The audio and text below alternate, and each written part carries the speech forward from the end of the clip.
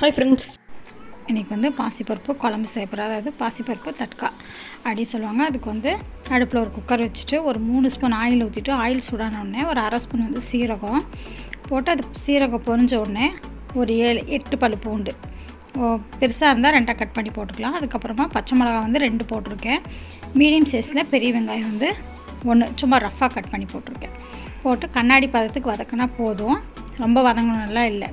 ஒரு அரை ஸ்பூன் வந்து மஞ்சத்தூள் கொஞ்சம் பெருங்காயத்தூள் போட்டு ஒரு வதக்கு வதக்கிட்டு நான் பாசிப்பருப்பு வந்து ஒரு சின்ன காப்படியில் எடுத்து வச்சுருக்கிறேன். அது வந்து ஒரு பத்து நிமிஷத்துக்கு முன்னாடியே ஊற வச்சு வச்சுருக்கிறேன். நல்லா கழிஞ்சிட்டு அது பருப்புக்கு தேவையான தண்ணி ஊற்றிட்டு அதுக்கப்புறமா மீடியம் சைஸில் ரெண்டு தக்காளி பழம்.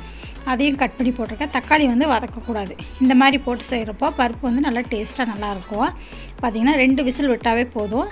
இந்த அளவுக்கு நல்லா குழஞ்சி வெந்துடும் நம்ம வந்து மத்து வச்சு கடைஞ்சிக்கலாம் இந்த பாசிப்பருப்பு குழம்பு வந்து நம்ம சப்பாத்தி பூரி தோசை சாப்பாடு எல்லாத்துக்குமே ரொம்ப நல்லாயிருக்கும். கடைஞ்சிட்டு வேறு ஒரு பவுலுக்கு மாற்றிட்டு தேவையான சால்ட் போட்டு மிக்ஸ் பண்ணிவிட்டு இதுக்கப்புறமா இதுக்கு ஒரு தாளிப்பு கொடுத்துடலாம்.